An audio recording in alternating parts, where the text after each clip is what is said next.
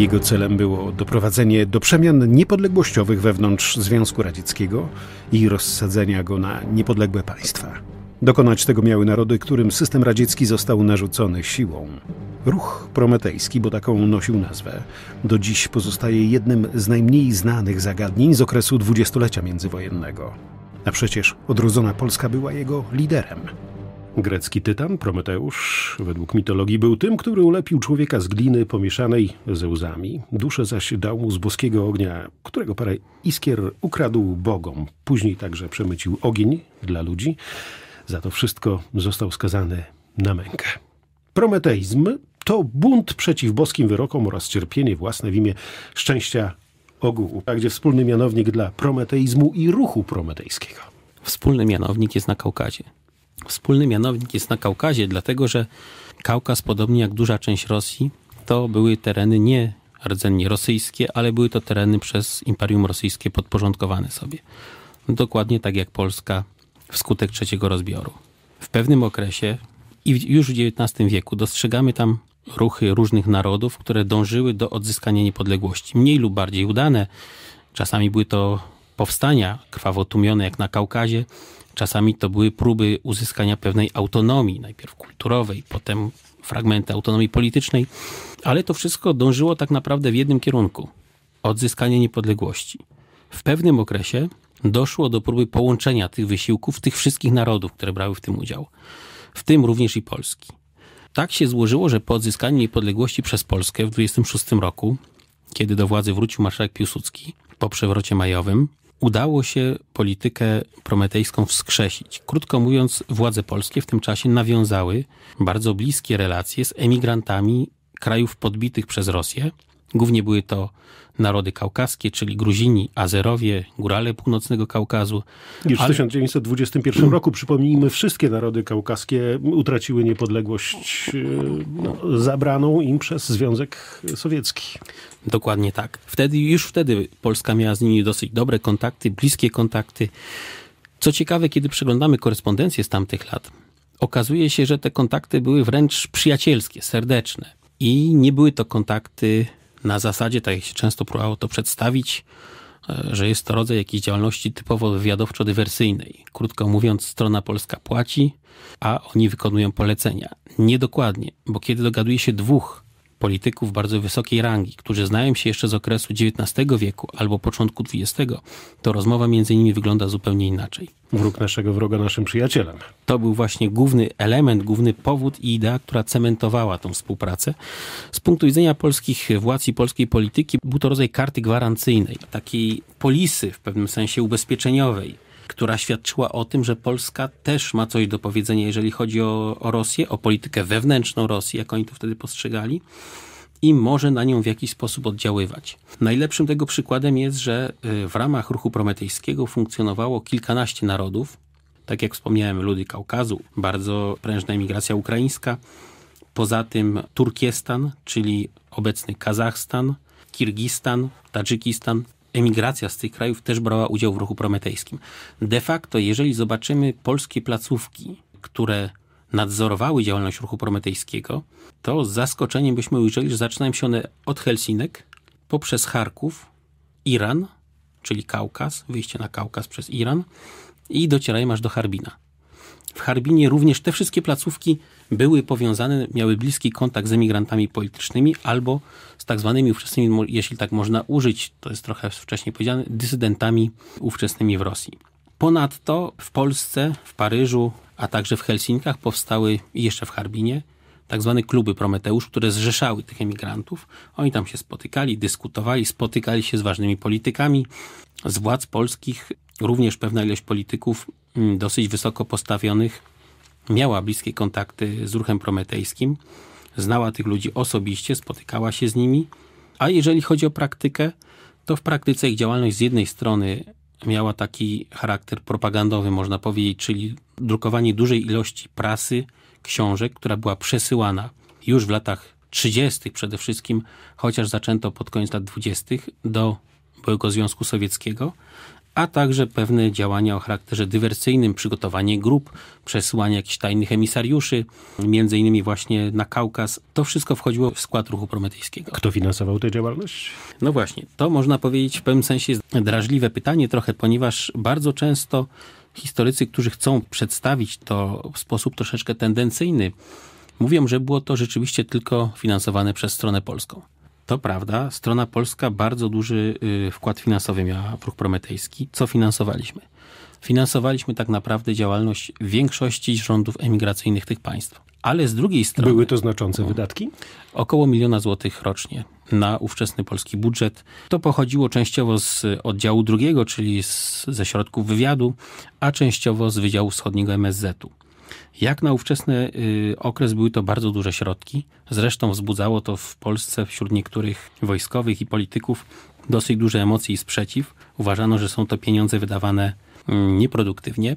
Ale z drugiej strony należy też pamiętać o tym, że w wielu wypadkach wiele przedsięwzięć było współfinansowanych. Czyli na przykład, kiedy gruzińscy oficerowie wydawali czasopismo, część wydatków była finansowana z ich składek, część z pieniędzy polskich. Polska strona często dawała na przykład pieniądze na utrzymanie biura, na wydanie danego czasopisma, czasami też pewne wynagrodzenie dla nich samych, ale nie zawsze. Wiadomo, że ważniejszym postaciom fundowano wręcz, e, można powiedzieć, renty. Renty, a także stypendia dla studentów. Jeżeli chodzi o renty, no to na przykład żona po Symonie Petlurze otrzymywała do 40 roku taką rentę, a w momencie, kiedy Polska podpisała pakt sikorski-majski, ona się tej renty zrzekła, powiedziała, że Polska teraz przeszła na stronę Sowietów i ona już tych pieniędzy brać nie może. Zaplecze tego ruchu, ruchu prometejskiego, jak wyglądało? Przede wszystkim były to instytucje istniejące w Polsce, jak już wspomniałem, Klub Prometeusz, ale także poza granicami. Działające legalnie. Oficjalnie i legalnie. To, to bardzo słusznie pan to podkreślił. Z tego powodu na przykład y, Klub Prometeusz w Paryżu nie mógł zostać zarejestrowany aż do 1939 roku. Co do dzisiaj wśród badaczy wzbudza dosyć dużo emocji, ponieważ w oficjalnym statucie klubu Prometeusz w Warszawie jest napisane, że jest to filia klubu paryskiego. Klub w Warszawie powstał w roku 28, a tymczasem klubu w Paryżu nie było do roku 39. Natomiast część działalności miała charakter nieoficjalny, bardzo głęboko utajniony. To były sprawy związane z wywiadem, częściowo właśnie i na wschód. Tu mamy przede wszystkim taką kwestię jak oddział drugi sztabu głównego ukraińskiego, który w bardzo bliskim kontakcie współpracował ze stroną polską ale były to akcje bardzo utajnione. Podobnie mamy y, takie komórki dywersyjne, były tworzone chociażby we Francji. We Francji powstała w roku 28 taka gruzińska organizacja wojskowa, wzorowana w pewnym sensie na polskiej organizacji wojskowej.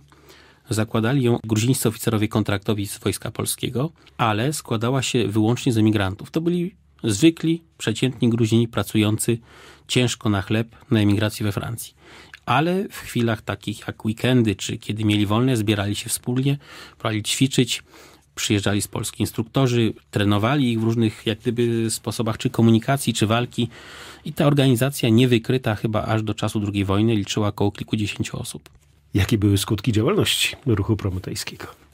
No, zacznijmy może od tego, jaki był cel. Głównym celem, takim, który bardzo często przypominano, i to były słowa marszałka Piłsudskiego jeszcze z roku 1906, czwartego, przepraszam, z memoriału do, do władz japońskich. Piłsudski pisał, że celem podobnej współpracy Polski z tymi narodami podbitymi przez Rosję jest tak naprawdę rozbicie Związku Sowieckiego czy Imperium Rosyjskiego po szwach narodowościowych. Tak naprawdę najlepiej tłumaczyła to mapka, którą dołączano do wielu broszur związanych z ruchem prometejskim. Proszę sobie wyobrazić wielką mapę Imperium Rosyjskiego, rozbitą na drobne części składowe, a właściwa Rosja jest ograniczona do rozmiaru księstwa moskiewskiego z XVI wieku. Czy któryś z narodów tworzących późniejszy Związek Radziecki znalazł się w obrębie tego związku dobrowolnie? Chyba żaden tak naprawdę żaden. W większości wypadków były to próby podporządkowania. No, w przypadku Gruzinów możemy się zastanawiać, ponieważ formalnie na początku została podpisana rodzaj Unii, więc początki jak gdyby współpracy z Imperium Sowieckim o charakterze typowo antytureckim Gruzini bali się właśnie presji ze strony Turcji, y, dlatego też związali się w pewnym momencie z Rosją, ale później tak naprawdę była to już typowa mocna polityka kolonizacji. Pierwsza wojna pokazała, że imperia mogą lec w gruzach. Takie wydawałoby się wiekowe i mocne imperia jak Austro-Węgry, no, jak Niemcy, jak wreszcie monarchia Romanowów. Ta z kolei została zastąpiona innym imperium, imperium sowieckim. Trzeba było uderzyć w ten monolit. Tu właśnie mamy cały czas dyskusję, kiedy na przykład przejrzymy prasę emigracyjną, znany bardzo ceniony y, pisarz, a też znany antykomunista Józef Mackiewicz, twierdził, że Rosja carska i Rosja sowiecka to są dwie różne rzeczy. Widział między tymi państwami pewną różnicę. Osoby związane z ruchem prometejskim, zarówno w okresie międzywojennym, jak i później, twierdziły, że tej różnicy nie ma, ponieważ istotą składową zarówno Rosji carskiej, jak i Imperium Sowieckiego jest imperializm, czyli próba podporządkowania sobie jak największej ilości krajów otaczających to imperium. Najważniejsze postacie związane z ruchem prometejskim? Ze strony polskiej to na pewno będzie Tadeusz Hołówko, zastrzelony w dziwny sposób formalnie przez nacjonalistów ukraińskich w Truskawcu, kiedy przebywał na krótkiej kuracji.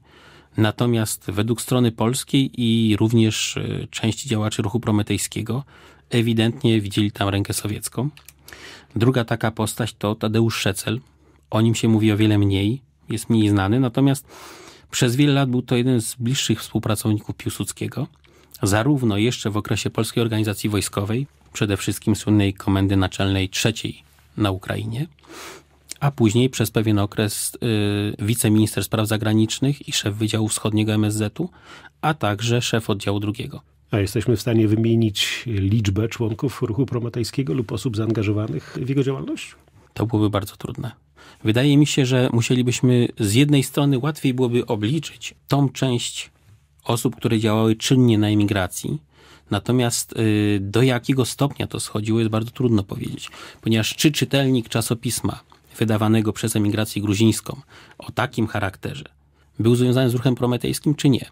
Oni ze swojego punktu widzenia widzieli jako to jako część swojej walki narodowo-wyzwoleńczej, swoich prób podejmowanych y, w walce o niepodległość. Często nawet mogli nie wspominać o ruchu prometejskim, ale nastawienie właśnie było takie. Nie możemy odzyskać sami niepodległości, dlatego musimy współpracować z innymi. Kiedy ją później utrzymamy, również musimy robić to we współpracy z innymi narodami, ponieważ sami nie damy rady. Jest to zbyt duże państwo i zbyt poważny przeciwnik.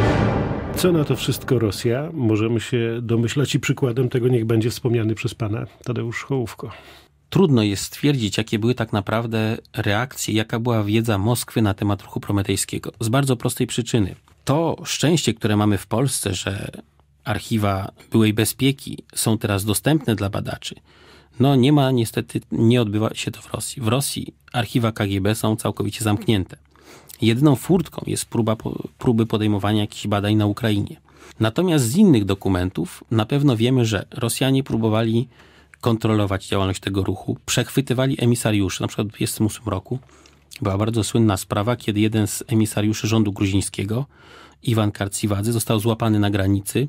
E, zabrano mu listy e, z emigracji do Gruzinów na Kaukazie. Te listy zostały później ogłoszone. Sowieci próbowali z tego zrobić skandal pod każdym względem. I tak naprawdę takich działań było dosyć sporo.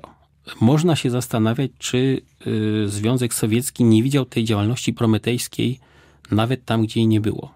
Bo jeżeli zobaczymy operacje narodowościowe, które przeprowadziło NKWD w latach 30., proszę zwrócić na uwagę. Na przykład operacja Polska? Na przykład operacja Polska. Tam nie, nigdzie oczywiście nie pada y, sformułowanie ruch prometejski, ale tak naprawdę, jeżeli weźmiemy pod uwagę tych chociażby Azerów, Gruzinów, osądzonych w ramach tych czystek narodowościowych, to wtedy zauważymy, że zarzuca im się między innymi współpracę właśnie z emigracją z tych krajów pozostającą na zachodzie. A emigracja ta była w bardzo bliskim związku z Polską. A Sowieci nie stworzyli odpowiednika ruchu prometejskiego? Można się zastanawiać, czy tak naprawdę nie był nim w jakimś stopniu Komintern. Komintern, który jak gdyby miał podobną ideę, czyli gromadzenie członków z partii komunistycznych z różnych krajów i próba oddziaływania na to, co się działo w Europie Zachodniej. Tak, z tego względu można nazwać rzeczywiście, i tak czasami nazywano, ruch prometejski międzynarodówką ludów ujarzmionych, ponieważ takie określenie wówczas stosowano. Ale tak naprawdę, jeżeli przejrzymy późniejsze nawet materiały i wspomnienia y, na emigracji wydane, to jeden na przykład prezes klubu Prometeusz w Polsce, profesor Roman Malstocki, Ukrainiec, wspominał, że kiedy oddziały NKWD w 1939 roku wkroczyły do Polski, posługiwały się takim podręcznikiem, który liczył około 300 stron. Jedna trzecia tego podręcznika była poświęcona ruchowi prometejskiemu. Czyli to były spisy, informacje, kto gdzie przebywa, kto jest z kim związany. Tego podręcznika, o którym pisze Smalstocki, nigdy nie widzieliśmy. Ale są dokumenty z archiwów sowieckich, już częściowo opublikowane, na przykład z lat 30. w 1934-1936 roku, na przykład Sowieci mieli bardzo dobrze rozpoznany klub Prometeusz w Helsinkach. I w dokumentach, które zostały jakiś czas temu opublikowane, to jest widoczne.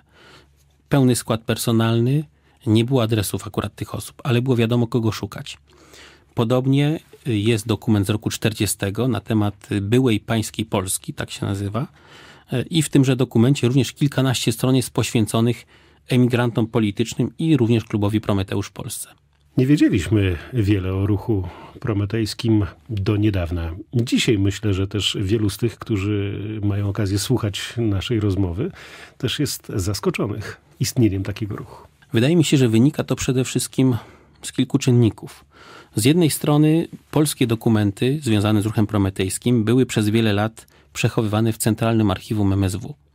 Obecnie część z nich trafiła do archiwum wojskowego w Rembertowie, natomiast wtedy do 1989 roku dokumenty te były praktycznie niedostępne. Korzystało z nich tylko kilka osób. Powstały prace pisane w jakimś stopniu pod presją, nazwijmy tak delikatnie, ówczesnej propagandy i ówczesnego czasu. Poza tym jest jeszcze druga kwestia. W Polsce tak naprawdę polskich dokumentów o ruchu prometejskim jest mniej niż połowa. Większa ich część przebywa w Rosji. Jest przechowywana w tamtejszym. Tak archiwum trofejnym, obecnie w archiwum wojskowym. Trzeba przyznać, że są udostępniane bez żadnych problemów. Można z nich korzystać, aczkolwiek jest ich bardzo dużo, więc zapoznanie się z nimi wszystkimi nie jest proste. Ale jest jeszcze druga kwestia. Nawet jeżeli dotrzemy do tych dokumentów, w wielu wypadkach napotkamy na różnego rodzaju zabezpieczenia stosowane w latach 30. Z jednej strony będą to kryptonimy, a z drugiej strony jeszcze gorsze y, szyfry cyfrowe, logarytmiczne, których tak naprawdę dzisiaj chyba trudno jest, że tak powiem, je złamać. Podobnie ma to sytuację w przypadku y, archiwów innych państw. Jakiś czas temu koledzy z y, właśnie i Gruzini, i Tatarzy publikowali dokumenty związane z ruchem prometejskim. Tam też pojawiają się kryptonimy. Na przykład, y, jeżeli dobrze pamiętam, jeden z Gruzinów ma zupełnie inne, y, tam są po prostu zwykłe imiona podane. Y, w spotkaniu na przykład brał Andrzej, Józef i Tomasz udział. Nie wiadomo, kto się kryje za tymi pseudonimami. Dlatego też w pewnym sensie duże możliwości stwarza rodzaj współpracy międzynarodowej.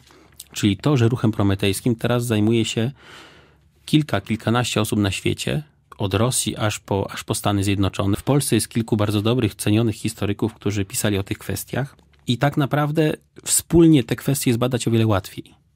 Każdy może y, znaleźć inny rodzaj naświetlenia, inne dokumenty, i dopiero przy konfrontacji tych dokumentów możemy cokolwiek uzyskać. A cóż możemy zrobić sami, mając tylko polskie dokumenty? To jest tylko wycinek. Jeżeli nie wiemy, jak to było widziane z drugiej strony, to będzie to w jakimś stopniu niepełne, a w wielu wypadkach może się mijać z prawdą.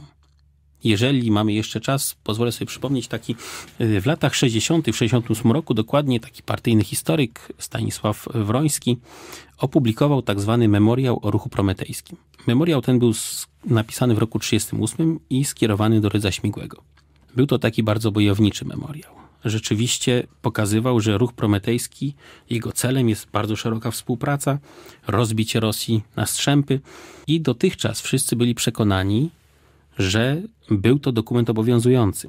Do tego stopnia, że w 1951 roku Główny Zarząd Informacji Wojska Polskiego wysłał te materiały do sowieckich służb bezpieczeństwa, ponieważ ta współpraca też istniała i o działalności tego, co już było wtedy historią ruchu prometejskiego, też się informowano.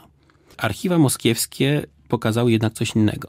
Ten dokument, który my znaliśmy z polskiej publikacji, był pierwszą wersją memoriału skierowanego do Rydza Śmigłego. Ale memoriał ten miał cztery redakcje i za każdym razem coś odejmowano, zmieniano i go łagodzono. Więc tak naprawdę ostateczna wersja, która do Rydza dotarła dopiero w marcu 1939 roku, wyglądała zupełnie inaczej. Idea prometejska, czy zgodzi się pan, że 17 września 1939, jakby to potwierdzał, poniosła porażkę w wydaniu polskim. Zależy czego szukamy. No, nie udało się Jeżeli- rozczłonkować Imperium To Sowieckiego. Prawda, to prawda. Natomiast niektórzy twierdzą, że przedłużeniem ruchu prometejskiego była działalność różnych instytucji na emigracji, taka jak chociażby Jerzego Giedroycia, który był związany z ruchem prometejskim w niewielkim stopniu, ale wielu jego kolegów współpracowało z ruchem prometejskim, tak jak chociażby Stanisław Zaćwilichowski. Co więc się udało? Uważa się, że to, co udało się osiągnąć w 1991 roku, rozpad Imperium Sowieckiego, jest to częściowo efekt działania podobnych idei. Natomiast ja przypomnę, że nie można powiedzieć, że ruch prometejski był czymś, powiedzmy, co się nie udało. Tak naprawdę ten sam model współpracy z narodami podbitymi przez Rosję po 1945 roku przejęli Amerykanie i utworzyli wtedy antybolszewicki blok narodów. Akurat w tym Polacy nie brali udziału, ponieważ były tam bardzo radykalne odłamy emigracji ukraińskiej, z którą nie mogliśmy współpracować. Był też e, ACN tak zwany. Było kilka platform współpracy narodów przeciwko Sowietom i model był dosłownie ten sam wykorzystany, co polski model w latach 20. i 30. Natomiast ja myślę, że jest jeszcze coś innego, co pozostało po tym wszystkim. Mianowicie pozostał ślad w historii. Ślad, do którego możemy nawiązywać, ślad i dowód bliskiej współpracy. Teraz tak naprawdę najbardziej znanym elementem współpracy prometejskiej jest obecność kilkudziesięciu oficerów e, kontraktowych gruzińskich w Wojsku Polskim w okresie międzywojennym. Większość z nich, prawie wszyscy, zapisali się bardzo dobrze. Część z nich zginęła w Katyniu, inni walczyli w Armii Krajowej, a ci, którzy pojechali na emigrację po 1945 roku, do końca brali udział i mieli czynne kontakty z Polakami. Ostatnio w Tbilisi przeglądałem y, materiały jednego z takich oficerów, Jana Welwano Nanuaszwili. Proszę sobie wyobrazić, że jeszcze na emigracji w latach 70., 80. korespondował po polsku ze swoim kolegą, z którym służył Polakiem, z którym służył w jednym pułku w Przemyślu, na temat wojny w 1939 roku. Sprzeczali się w listach, gdzie kto stał, na jakiej pozycji, jak przebiegała ta czy inna potyczka. Ślady zostały i myślę, że to jest też taki element, którego nie można lekceważyć. Wydano dużo czasopism, dużo książek. I ta spuścizna, te kontakty w pewnym sensie i polityczne, ale też kulturalne, wydaje mi się, nie są do zlekceważenia.